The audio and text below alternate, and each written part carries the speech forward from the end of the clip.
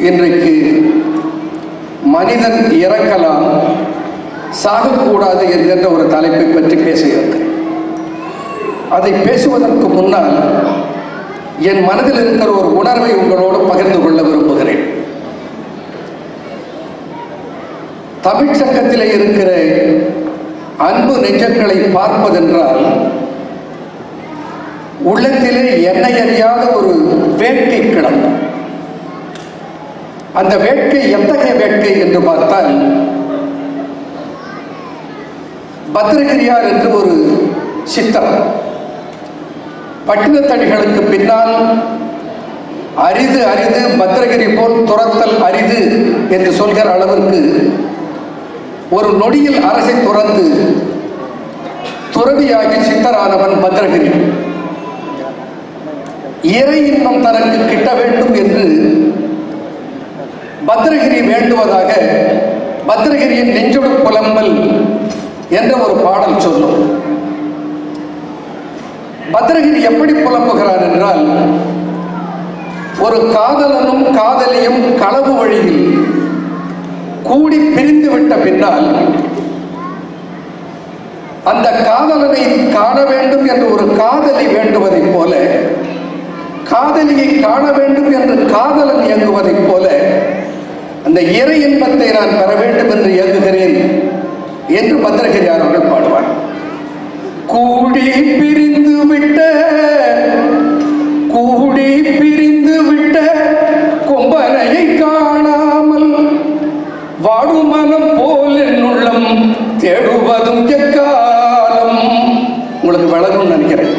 கூடி பிரிந்து விட்ட கொம்பனையை காணாமல் தேடும் மனம் போல் என் உள்ளம் தேடுவதும் எக்காலம் என்று பத்திரகிரி அவர்கள் இந்த பேரின்பத்தை நாடுகிற மனம் சிற்றின்பத்தை நாடுகிறவர் இயங்குவதைப் போல இயங்க வேண்டும் என்று சொல்வார்.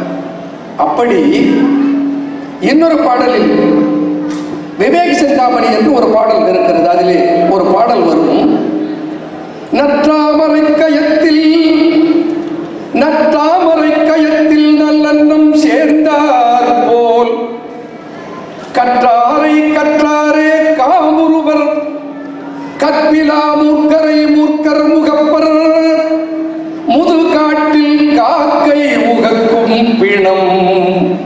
ஆரம்பிச்சோம் நல்ல தாமரை பூத்திருக்கிற ஒரு தடாகத்தை அன்னம் விரும்புவதைப் போல கற்றாரை கற்றாரே காமுருவர் என்று சொன்னார். கற்றவரை சந்திக்க வேண்டும் என்று இயங்குகிற இயக்கம் இருக்கிறது. அது காதலன் காதலியை சந்திக்கிற இயங்குகிற இயக்கத்தை போல இருக்கும் என்று இந்த தமிழ் கூறும் நல்லுலகம் ஒன்றுதான் சொல்லுகிறது. அப்படி இந்த தமிழ் சங்கத்துக்கு வருவதென்றால் இங்கே என்னுடைய உள்ளத்தை கவர்ந்திருக்கிற ஐயா நாஞ்சில் பீட்டர் அவர்களை பார்ப்பதென்றால் ஐயா சுந்தர் குப்புசாமி அவர்களை சந்திப்பதென்றால் ஐயா குழந்தைவேல் ராமசாமி அவர்களை பார்க்க வேண்டும் என்றும் ஐயா ராசாராம் சீனிவாசன் அவர்களை சந்திக்க வேண்டும் என்றும் ஐயா செந்தமிழ் செல்வனை பார்க்க வேண்டும் என்றும் ஐயா பார்த்தசாரதியை பார்க்க வேண்டும் என்று அந்த உள்ளத்திலே இருக்கிற ஏக்கம் எதற்கு சமமாக இருக்கிறது என்றால் கூடி பிரி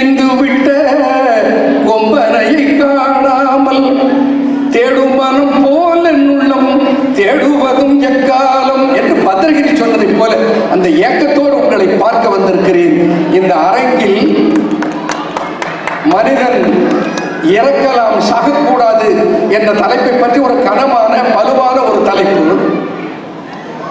ஒரு நாற்பத்தைந்து ஆண்டுகள் என்னுடைய ஆய்வின் முடிவினால் கிடைத்த ஒரு பதில். அது மிகப்பெரிய ஒரு தலைப்பு குறைந்தது ஒரு மணி நேரமாவது பேசி சில பயிற்சிகளை சொல்ல வேண்டிய ஒரு தலைப்பு. அதை ஒரு குறுகிய நேரத்துக்குள் நான் முடிக்க வேண்டிய கட்டாயத்தில் இருக்கிறேன். ஒன்றை நாம் புரிந்து கொள்ளுவோம்.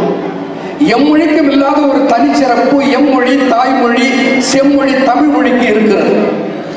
பிறப்பு என்கின்ற ஒரு சொல் பி என்கின்ற உயிர்மை எழுத்தை முதல் எழுத்தாக கொண்டது. பிறப்பு என்ற சொல்லில் முதல் எழுத்து பி என்கின்ற உயிர்மை எழுத்து. அந்த உயிர்மை எழுத்தை ஆக்கி இருக்கிற இரண்டு எழுத்துக்கள் உடல் அல்லது மெய் என்று சொல்லுகிற இப் என்கின்ற எழுத்து ஒன்று அடுத்தது உயிர் எழுத்து என்று சொல்லப்படுகிற ஈ ஒன்று. இப் என்கின்ற உடலோடு ஈ என்கின்ற உயிர் சேர்ந்தால் உயிர்மை பறக்கிறது பியில இருந்து கிடைத்த சொல் பிறப்பு. உடலை விட்டு உடலாகி இப்பை விட்டு ஈ ஆகிய உயிர் பிறந்தால் கிடைக்கிற சொல் இறப்பு. பிறப்பிலேயே இறப்பை வைத்து பிறந்தது அனைத்தும் இறந்தே தீரும் என்று உலகுக்கு சொல்லி இருக்கிற ஒரே ஒரு மொழி எம் மொழி என் தாய்மொழி தமிழ் மொழிதான். நீங்கள் கொஞ்சம் தலை மறலாம். அப்படி சொன்னவன் இலக்கியத்திலே பிறப்பு என்ற சொல்லை வைத்து தமிழின் சிறப்பை உணர்த்தியவன் எப்படி மனிதன் இறக்கலாம் சாகக்கூடாது என்று சொல்லி இருப்பான். வள்ளல் பெருமான் மிக அற்புதமாக ஒரு பாடலை சொல்லுவார். நினைந்து நினைந்து நெகிழ்ந்து நெகிழ்ந்து நினைந்து நினைந்து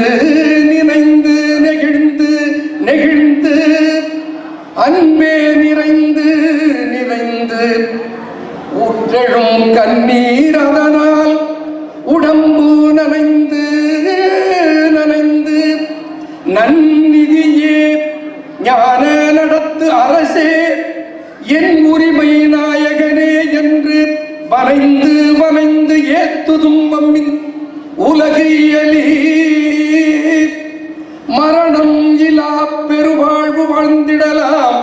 கண்ணீர் பொய்ப்புகழேன் சத்தியம் சொல்கின்றேன். பொற்சபையில் சிற்சபையில் புகும் தருணம் இதுவே. வள்ளல் பெருமான் சொன்னார் என்ன சொன்னார் இந்த கடைசி வரி மட்டும் எடுத்துக்கோ. மரணநிலா பெருவாழ்வு வாழ்ந்திடலாம் கண்டீர் அவர் இப்ப நம்ம கூட இல்லை. அப்போ வள்ளல் பெருமான் போய் சொன்னாரா? இதை ஆராய வேண்டிய கட்டாயத்தில் நாம் இருக்கிறோம். திருமூலன் ஒரு பாடலில் சொல்லுவார் நாவின் நுனியை நடுவே விசிறிடில் சிவனும் அங்கே சிவனும் உறைவிடும். நாவின் நுனியை நடுவே விசிறிடில் சீவனும் அங்கே சிவனும் உறைவிடம். மூவரும் பத்து மூவரும்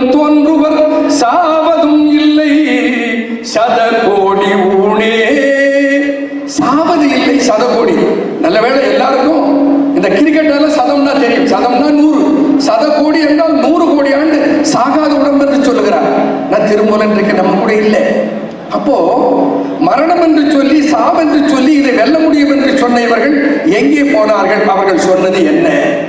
இதை பற்றிய ஆய்வு தான் அதை வந்து அந்த ஆன்மீக நெறி கண்ணோடு அல்லாமல் ஒரு அறிவியல் கண்ணோடு பார்க்கிறேன். ஆன்மீக நெறியில் சொல்லுகிற கருத்துக்கள் அனுபவப்பட்டவர்கள் ஓரிருவர்கள் எங்கோ சிலர் இருக்கலாம். அந்த இடத்துக்கு நான் போகல. ஒரு அறிவியலர் அஸ் சயின்டிஸ்ட் ஒரு சயின்டிபிக் பெர்ஸ்பெக்டிவோட அந்த கருத்தை நான் பார்க்கிறேன். இப்போ ஒரு மனிதன் பிறந்தது முதல் அவன் இந்த உலகில் இருந்து மறைகிற வரையில் அந்த வாழ்கிற காலம் இருக்கிறதே அந்த காலம் அவன் பிறக்கிற போதே அவனுடைய கருவில் தீர்மானிக்கப்பட்டு விடுகிறது. இந்த ஆங்கிலத்தில் சொல்ல போனா the expectancy of a person is already already in in bio biomolecules the genetic molecules called DNA எத்தனை ஆண்டுகள் இவன் வாழ்வான் என்கின்ற அங்கே தீர்மானிக்கப்பட்டிருக்கிறது. ஆனால் வாழ்நாள் முழுதும் வாழ்கிறானா என்று கேட்டால் ஒரு யோகி பதில் சொல்வார் most men do not die but they kill themselves பெரும்பாலானவர்கள் இறப்பதில்லை தன்னைத்தானே கொன்று கொள்கிறார்கள் இதுதான் இருக்க நிகழ்ந்து கொண்டிருக்கிறது. அப்போ இறப்பு என்பது என்ன? சாவு என்பது என்ன என்பதை நாம் தெளித்து விட்டால் நாம் சாவை வென்று இறக்கிற நாள் வழியில் வாழ்கிற வழியை வகுத்துக் கொள்ள முடியும். இதற்கு ஞான விளக்கம் பெற்ற ஒரு மிகப்பெரிய சித்தன். அந்த சித்தனுடைய பெயர் சிவவாக்கியன். இந்த சிவவாக்கியன் ஒரு பாடலிலே சொல்லுவான் எப்படி மரணத்தை வென்று எப்படி சாவை வென்று எப்படி மனிதனை தவிர்த்து? நான் இறப்ப சொல்லல சாவை சொல்லுகிறேன். இத்தனை ஆண்டு வாழ வேண்டும் என்று பிறந்த நாம் வாழ்நாள் முழுதும் வாழ்வதற்கு முன்னால் நம் வாழ்வு முடிந்து போகிறது என்றால் அதற்கு இரண்டே இரண்டு காரணங்கள் தான். ஒன்று வியாதி இன்னொன்று விபத்து. இந்த விபத்தையும் வியாதியையும் நாம் வென்றுவிட முடியுமானால் நாம் கடைசி நாள் வரையில் வாழ முடியும் சாவு நம்மை சந்திக்காது. வாழ்கின்ற போது இடையில் இடைமறித்து நிகழ்கின்ற முடிவு இருக்கிறதே அதுதான் சாவு.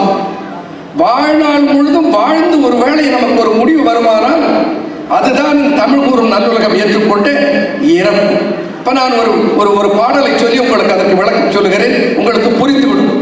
நம்முடைய ஊரில் ஒருவன் வயோதிகனாகி ஒரு அறுபது எழுபது எண்பது வயது தொண்ணூறு வயது மூப்படைந்து அவனுடைய காது கேட்கிற திறம் இருந்து திறம் இழந்து நாசி நுகர்கிற ஆற்றல் குறைந்து நடை தளர்ந்து நரை திரை மூப்பு வந்து அவன் முதுமை அடைந்து படுத்திருக்கிற போது அவனே சொல்லுவான் என் சீட்டு எங்க இருக்குதோ தெரியலையே. நான் ஏன் இந்த உலகத்திலே இனிமேல் இருக்கிறேன்? நான் போனா போதும் என்று அவரே சொல்லுவான். அந்த வீட்டில் இருப்பவர்கள் சொல்லுவார்கள் அவர் எல்லாத்தையும் வாழ்ந்து முடிச்சிட்டாருப்பா. கொள்ளு பேரை கொள்ளு பேத்தி எள்ளு பேரெல்லாம் பார்த்துட்டார். அவர் இனிமேல் பார்க்க வேண்டியது அது ஒண்ணுதான். அவர் இப்படி கஷ்டப்படுவதை விட அவர் போயிட்டா பரவாயில்லை என்று வீட்டில் இருப்பவர்கள் சொல்வார் வீட்டிலே அவர்களும் அவர் போகலாம் என்று சொல்ல அவரும் இனி நான் இருக்க வேண்டியதில்லை போகலாம் என்று நினைக்க. அப்படி வாழ்நாள் முழுக்க வாழ்ந்து முடிந்த பின்னால் ஒரு எண்பது தொண்ணூறு வயதில் ஒரு முடிவு வருமானால் அதை கல்யாண சாவு என்று மேலம் கொட்டி கொண்டாடி எடுப்பார்கள். மிக அற்புதமாக அருணகிரி பெருமான் சொல்லுவான் ஒரு பொருளுடன் சிலவாத மூது காமாலை சுகை நோய் ஒரு பொருள் அழுவ சிலவாத மூது காமாலை சோகை நோய் பெருவயிறு வயிறு வலி படுவன் வர இருவழிகள் பீழை சாலிட கீழை மேலிட பீழை சாலிட ஈழை மேலிட வழவழன உமிழும் அது குழவழன ஒழுகி விழ இந்த வாயில் எச்சி வர்றது தெரியாம முதுமை அடைந்து விட்டான். ஒரு பொருளும் நழுவ சிலவாதம் ஊது காமாலை சோகை நோய் பெருவயிறு வயிறு வலி படுவன் வர இருவிழிகள் பீழை சாலிட ஏழை மேலிட. பழவழனமும் விழுவது பழவழன ஒழுகி விழவாடி ஊனலாம் நாடி பேதமாய் மறையவள் மனம் வேறாய். மருகமனையுறும் அவர்கள் நனக நனகென வளமும் மாதர் சீயன பாலர் சீயன கரவுதன்றது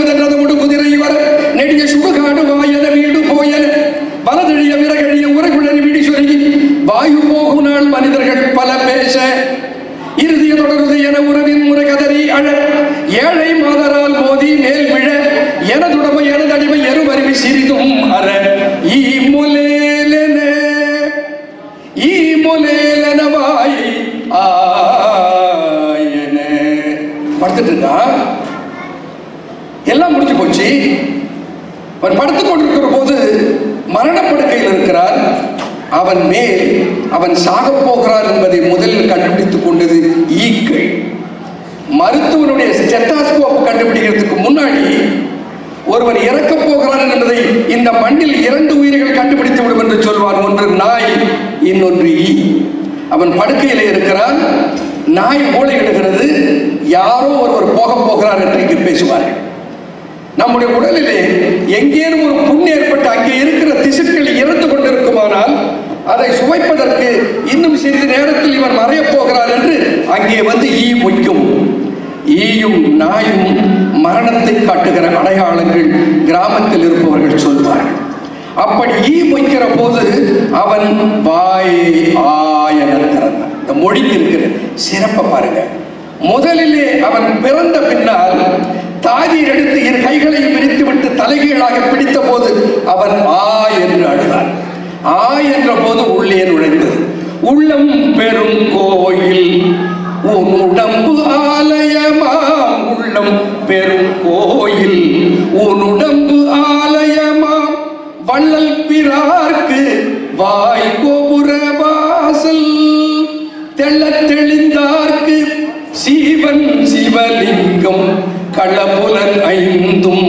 காடா மணி விளக்கே. வள்ளல் பெருமான் சொல்லுவான் என்ன ஆயிற்று? வாய் கோபுர வாசல். பிறந்த உடனே குழந்தை அழுதது. ஆடா உள்ள போச்சு. எது போச்சு?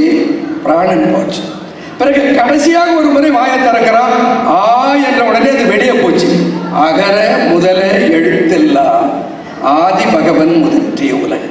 தமிழில் வேறு எந்த மொழிக்கும் இல்லாத தனிச்சிறப்பு ஆவிலே தோன்றி ஆவிலே முடிகிற வாழ்க்கை முதிர்ச்சி அடைந்து அவனே தான் போகலாம் என்ற நிலை அடைந்து தளர்ந்து எல்லாவற்றையும் பார்த்துவிட்டு அவனுக்கு ஒரு முடிவு வருமானால் அது இறப்பு. யாரும் அழமாட்டாங்க. இப்ப பாதி வயதுல இந்த பிள்ளை அழும் அப்பா என்னை விட்டுட்டு போயிட்டே மனைவி அழுவாள் ஐயோ என்னை விட்டுட்டு போயிட்டீங்களே.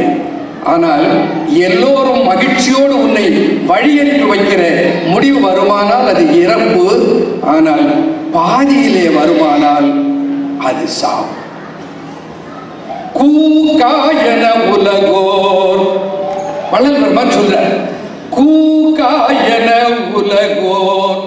கூவி அழாத முன்னம். சாகாவரம் எனக்கு தந்திட்ட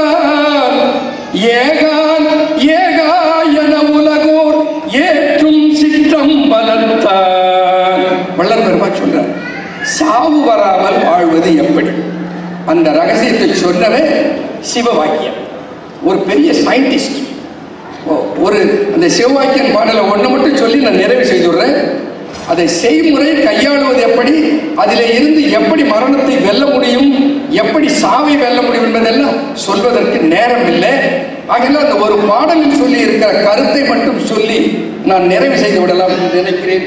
நேரம் இன்னும் ஐந்து மணித்துளிகள் மட்டும்தான் இருக்கின்றன. சிவபாக்கியன் என்ன சொல்லுகிறான்? நம்முடைய இருதயமும் நுரையீரலும் ஒன்றோடு ஒன்று இணைக்கப்பட்டிருக்கின்றன. திருமூலம் சொல்லி சிவவாக்கியம் சொல்றான் சொல்றான். இருதயமும் நுரையீரலும் எப்படி ஒன்றோடு ஒன்று இணைக்கப்பட்டிருக்கின்றன?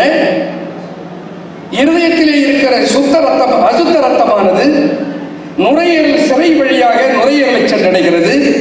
நுரையீரலில் சுத்திகரிக்கப்பட்ட ரத்தமானது நுரையீரல் தவறி வழி சிறை வழியாக இருதயத்துக்கு வருகிறது அப்போ இருதயமும் நுரையீரலும் ஒன்றோடு ஒன்று இரத்த குழாய்களினால் இணைக்கப்பட்டிருக்கின்றன.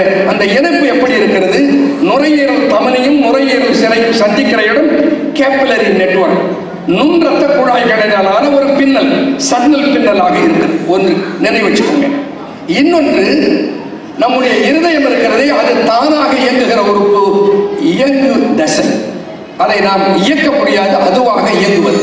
ஆனால் நுரையீரல் இருக்கிறது அது ஒரே நேரத்தில் இரண்டாக இருக்கிறது. இயக்கு தசையாகும் இயக்கு தசையாகும். நாம் நினைத்தால் மூச்சை இழுத்து நிறுத்திக் கொள்ளலாம். நாம் நினைத்தால் வேகமாக மூச்சு விடலாம். நாம் நினைத்தால் கொஞ்சம் நேரம் சுவாசிப்பதை கூட நிறுத்தலாம்.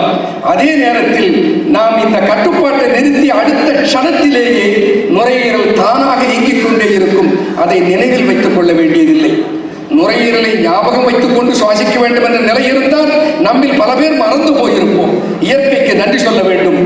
தானாக இயங்குகிற இன்வாலண்டரி அண்ட் வாலண்டரி என்று பிரிக்கிற இரண்டு பிரிவுகளில் இருதயம் இன்வாலண்டரி உறுப்பாக இருக்கிறது. நுரையீரல் வாலண்டரி அண்ட் இன்வாலண்டரி உறுப்பாக இருக்கிறது. இப்ப சிவவாக்கியம் சிந்திக்கிறார். இருதயத்துக்கும் நுரையீரலுக்கும் ஒரு தொடர்பு இருக்கிறது. இந்த ஈரல் இயக்கத்தை கொண்டு நுரையீரலுடைய இயக்கத்தை கொண்டு நாம் இதயத்தை கட்டுப்படுத்த முடியும் என்று சிந்திக்கிறார். அதற்காக அவர் ஒரு பாடல் எழுதுகிறார். சங்கிரண்டு தாரை ஒன்று சங்கிரண்டு தாரை ஒன்று சன்னல் பின்னலாகையால் மயங்கி மாழுதே உலகில் மானுடங்கள் எத்தனை? சங்கிரண்டையும் தவிர்த்து தாரை ஓட வல்லரே கொங்கை மங்கை பங்கரோடு கூடி வாழலாகுமே. கொங்கை மங்கை பங்கர் பங்கன்னா பாதி. கொங்கை மங்கைன்னா பராசக்தி. பராசக்திக்கு தன் உடலில் பாதி தந்திருக்கிற சிவபெருமான் பிறப்பு இறப்பற்றவன் அவரைப் போல நாம் இறப்பற்று கொங்கை மங்கை பங்கரோடு கூடி வாழ முடியும் எப்போ? அந்த முன்னாடி வரி என்ன சொல்லுது? சங்கு இரண்டு தாரை ஒன்று என்று சொல்லுகிறது. பல காலத்தில் பலர் எழுதிய பழைய பாடல்களுக்கு அந்த மூல நூல் என்ன சொல்லுகிறது என்பதை அதற்கு பொருள் சொல்லுகிறவன் பல நேரத்தில் அவன் எவ்வளவு அறிந்திருக்கிறாரோ அதை பொறுத்து சொல்லுகிறார் காலங்காலமாக அதற்கு பொருள் சொன்னவர்கள் இடகலை பிங்கலை என்று இரு நாடி ஓடுகிறது. இடகலை பிங்கலை நாடிகளில் ஓடுகிற வாயுவை சுழுமுனையில் ஓடச் செய்தால் அவன் கொங்கை மங்கை பங்கரோடு மரணம் அல்லாம் நெடுவாழ்வு வாழ முடியும் என்ற கருத்தை பலர் எழுதினார்கள். நான் ஒரு மருத்துவர் என்கின்ற முறையில் அந்த தமிழை வேறு கண்ணோடு பார்க்கிறேன். அவன் சொல்லி இருக்கிற சொற்களை பிரித்து பார்க்கிறேன். சங்கு இரண்டு தாரை ஒன்று என்று சொல்லுகிறார். சங்கு இரண்டு சங்கு என்கின்ற வாத்திய கருவி இருக்கிறதே அது காற்றினால் ஒளி எழுப்புகிற கல்வி நம்முடைய உடலுக்குள் இரண்டு சங்கு இருக்கிறது இரண்டு நுரையீரல்கள் சங்கு இரண்டு தாரை ஒன்று லேப்டாப் என்று ஒலி எழுப்புகிற இருதயம் ஒன்று. சங்கிரண்டு தாரை ஒன்று. சன்னல் பின்னல் ஆகையால் These two organs are interconnected by the capillary network in the lung. இந்த இரண்டு உறுப்புகளும் ஒன்றோடு ஒன்று இணைக்கப்பட்டிருக்கின்றன. இது ஸ்ட்ரக்சரால மட்டும் இல்லை செயல்பாட்டாலும்.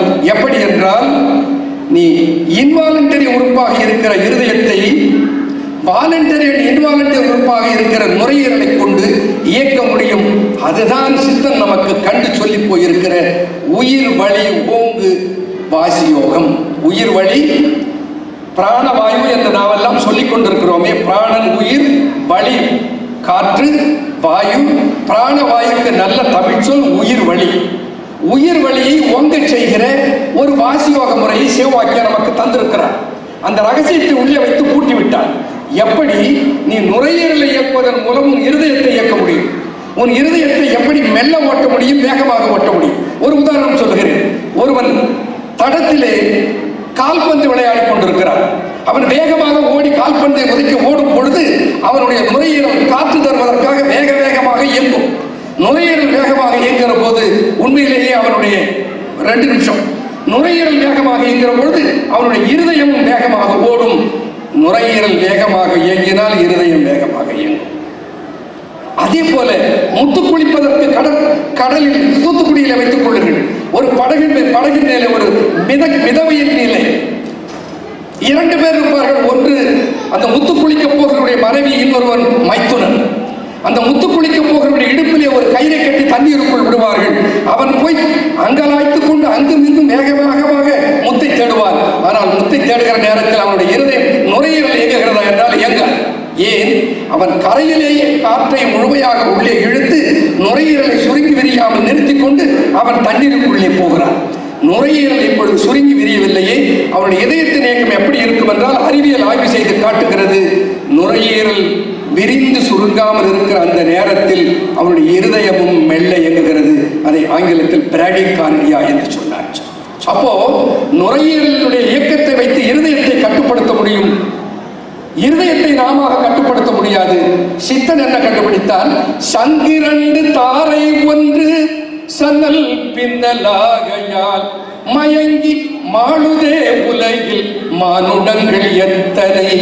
இந்த ரகசியம் தெரியாமல் எத்தனை பேர் மயங்கி மயக்கத்தில் மாண்டு கொண்டிருக்கிறார்கள்? மாளுதல் என்பது இயற்கையாக வருகிற இறப்பல்ல. அப்ப என்ன செய்தால் நீடித்து வாழ முடியும்? சங்கிரண்டையும் தவிர்த்து தாரை போட வல்லரே. இது செய்து காட்ட முடியாது இப்போ. ஒன்று மட்டும் சொல்றேன். இந்த சங்கு இரண்டையும் இயங்காமல் நிறுத்திவிட்டு நுரையீரலை மட்டும் இயக்குகிற ஆற்றலை ஒருவன் பெறுவாரானால் நான் அறிவியல் உலகம் சொல்ல estimation hibernation summer sleep and written sleep அது மனிதன் அவனுடைய நுரையீரலை இயக்காமல் நிறுத்திவிட்டு அப்போ ஆக்சிஜன் மாற்றம் நடக்குமா காற்று மாற்றம் நடக்குமானா நடக்கும் ஏனென்றால் the transfusion of oxygen and carbon dioxide is not because of contraction relaxation of the lungs it's because of the difference in the partial pressure அறிவியல் உலகத்துக்கு தெரியும் அப்போ அந்த நுரையீரலை விரித்து வைத்துக் கொண்டு இருதயத்தை மட்டும் மெல்ல இயக்குகிற ஆற்றலை எதிலே பெற முடியும் தவத்திலே பெற முடியும் அந்த தவம் பல பேர் தெரியும். மெடிடேஷன் பண்றவங்களுக்கு தெரியும். ஐக்கிய சக்கரத்தில் வைத்து தியானத்தில் அமர்ந்திருந்தால் அப்படியே மெல்ல மெல்ல சுவாச ஓட்டம் குறைவதும் இருதயத்தின் ஏக்கம் குறைவதையும் பலர் அனுபவித்திருப்பீர்கள். ஆக சங்கிரண்டையும் தவிர்த்து தாரை ஓட வல்லரே கொங்கை மங்கை பந்தரோடு கூடி வாடலாகும் என்று சித்தன் செவ்வாக்கியன் சொன்னது. சாவை வென்று மரணத்தை வென்று மடிதலை வென்று வாழ்நாள் முழுதும் ஆரோக்கியமாகவும் ஆனந்தமாகவும் வாழ்கிற ரகசியத்தை உள்ளடக்கியது. அந்த பயிற்சியை என்னுடைய பாட்டன் செய்து எனக்கு சொல்லிக் கொடுத்து. முதலில் அவர் செய்வது இருதயத்தையும் நுரையீரலையும் பலப்படுத்துகிற ஒரு பயிற்சி. அது எப்படி பலமாகிறது கார்டியாலஜிஸ்டுக்கு தெரியும். நான் செய்கிற போது முன்னால் முன்- முந்தைய அஹ், மத்திய அமைச்சராக இருந்தவர் அதை அளந்து பார்த்து சொன்னார். ஐந்து நிமிடத்துக்குள் நூத்தி நாற்பது முறை உன்னுடைய இதயம் துடிக்கிறதே அது எப்படி என்று கேட்டார். அதை செய்ய முடியும் அது சாத்தியமாகும். அது எழுபத்தி ரெண்டு முறை துடிப்பதை ஐம்பது முறையாக குறைக்க முடியும். சுவாசத்து ஓட்டத்தை ஒரு நாளைக்கு ப- ஒரு நிமிடத்துக்கு பதினைந்து முறை சுவாசித்தால் நீ எத்தனை ஆண்டு காலம் வாழ்வாய்? அந்த பதினைந்து முறை சுவாசிப்பதற்கு பதிலாக பத்து முறை சுவாசித்தால் உன் நுரையீரலின் தேய்மானத்தை எவ்வளவு குறைக்கலாம்? மூன்றில் ஒரு பங்கு குறைப்பாயானால் உன் ஆயுளை மூன்றில் ஒரு பங்கு நீட்டிக் கொள்ளலாம். இந்த ரகசியங்கள் எல்லாம் உலகில் எந்த மொழியிலும் எந்த எந்த நூலிலும் பார்க்க முடியாத ரகசியங்கள் அதிசயங்கள் தமிழில் மட்டும் இருக்கிறது என்கின்ற பெருமையை சொல்லி அதை எப்படி இயக்குவது என்பதை மட்டும் ஒரு நொடி காண்பித்து விரும்புபவர்கள் பின்னால் வாய்ப்பு கிடைக்கிற போது அதை கற்றுக்கொள்ளலாம். அதை கற்றுக்கொண்டு இருதயத்தையும் நுரையீரலையும் பலமாக்கி பணம் செலவு பண்ணணும்னா சம்பாதிக்கணும். சம்பாதிச்சா தானே செலவு பண்ண முடியும்? இந்த இருதயத்தையும் நுரையீரலையும் நீடி வாழ வைக்க வேண்டுமானால் அதுக்கு முதல்ல என்ன செய்ய வேண்டும்? அந்த இருதயத்தின் முறையை பலப்படுத்த வேண்டும். அது எப்படி பலப்படுத்துவது என்பதை மட்டும் என் பாட்டன் தொண்ணூத்தாறு வயதில் செய்ததை. சொல்லுவார்கள் ஐயோ அதுக்கு என்ன ஹார்ட் நின்று போயிடுவோம் அவனுக்கு பிரீத்திங் ப்ராப்ளம் இருக்கு ஹார்ட் ப்ராப்ளம் இருக்கு. வச்சது ஒன்றும் ஆகாது நான் பண்ணிட்டு இருக்கேன். நாற்பது ஆண்டுகளாக நான் செய்து கொண்டிருக்கிறேன். இன்று வரையில் இதயத்தில் எந்த பிடியும் வந்ததில்லை. வராமல் தடுக்கிற ஆற்றல் பெற்றது. நமக்கெல்லாம் அது தேவை. இருபத்தெட்டு வயசுல ஹார்ட் அட்டாக் முப்பது வயசுல ஹார்ட் அட்டாக் கேள்விப்படுறோம். இதயத்தை எப்படி பலப்படுத்துவது என்பதை மட்டும் சொல்லி நிறைவு செய்கிறேன். ஒன்னே ஒன்று மட்டும் காமிச்சு விடுறேன் இவ்வளோ பேர் இருக்காங்களே. ஒரு சேர் கொடுங்களேன் அம்மா ஒரு சேர் ஒரே ஒரு நிமிஷம். I am sorry I have taken much of your time without your permission kindly bear with because it's is very essential to live healthy to live long to protect your heart and lung and simultaneously you can evolve a good health அது அவர் செவ்வாக்கியன் எப்படி செய்வது என்று சொன்னார்? பாருங்க. This is called Adi Mudra which is the, the infant practices when it is in the mother's womb, this is called Adi Mudra. Then open it Abhaya Mudra. அபய முத்ராவிலிருந்து ஆதி முத்ராவுக்கு வந்துட்டு கையை அப்படியே கீழே கொண்டு வரீங்க. கொண்டு வரும்போது you exhale some of you can do with me simultaneous you can exhale take your hands up Put your thumb inside and hold the thumb with other fingers. Now bring the hand downwards to the sides. While you are bringing it down, you breathe out. ஏன் breathe out? என்ன ஞானையா இந்த கை பின்னால போகிற போது your thoracic cavity contracts downwards and backwards. இந்த கை முன்னாடி மேல போகிற போது your thoracic cavity expands forward and upwards. பாருங்க Inhale, put the hand down, exhale. Open the hands, inhale.